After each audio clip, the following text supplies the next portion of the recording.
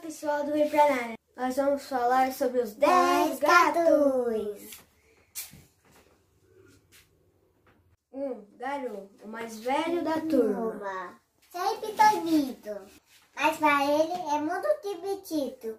É só uma voltinha pra rua. Dois, Dois, Simba, Simba. ele é muito brincalhão. Brinca com qualquer coisa.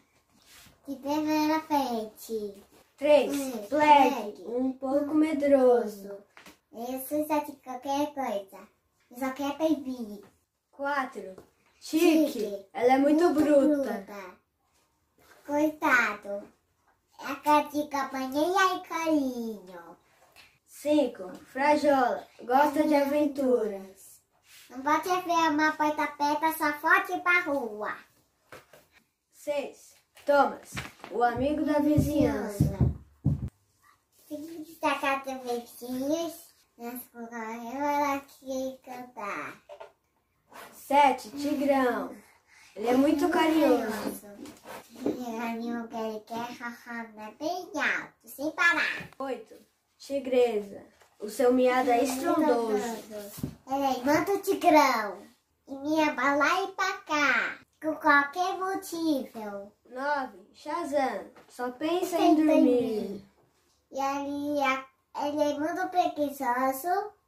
E ele acorda pra comer. Dez, Mas Gamora, vive nas alturas. Ele galinho não ele quer. No colo. Na cidade de cima. E passaram uma demenda bagunça. Enfim. E todos juntos, Passaram uma tremenda bagunça. e fim. Enfim.